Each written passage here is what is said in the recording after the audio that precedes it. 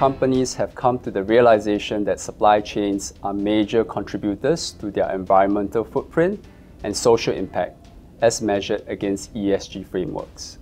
Consumers are expecting greater transparency, regulators are requesting for compliance and reporting.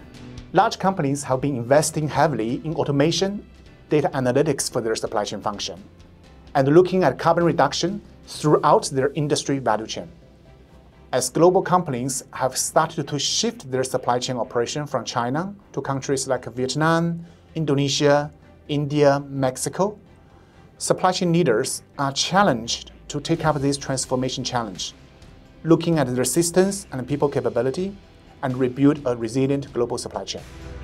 India's supply chain infrastructure is still developing and the supply chain leader needs to ensure risk management strategies are in place to avoid these disruptions. A supply chain leader uh, needs to have experience across uh, various subsectors of the supply chain management function. This would include gaining experience in procurement, logistics, inventory planning, quality, etc. Think like a CEO of a company, because supply chain touches every part of the business. Be a digital innovation catalyst.